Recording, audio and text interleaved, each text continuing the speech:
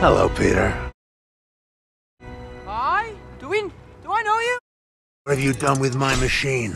Uh, your machine... I don't know what you're talking about. I don't... What machine? The power of the sun in the palm of my hand.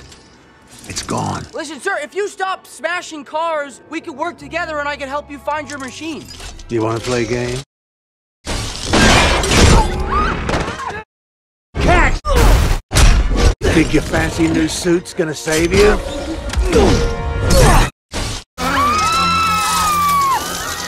Hand her over!